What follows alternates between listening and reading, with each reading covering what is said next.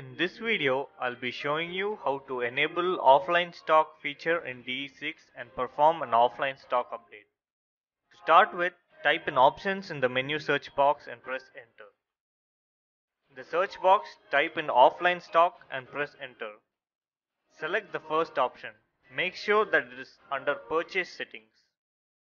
Enable this option by hitting the spacebar. Save and exit the configuration window. Now make a purchase entry.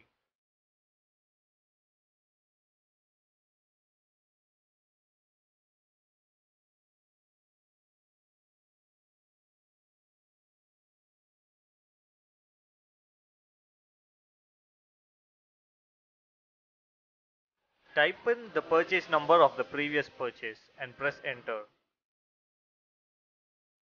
You will notice the yellow rows beside the product names. These are the items whose stock has to be updated. Click on stock update button below to update the stock.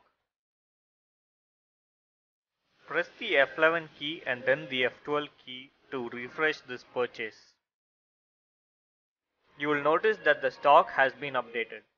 To update the stock of multiple purchases, go to Inventory, Stock Entries Update, Bulk Stock Updation.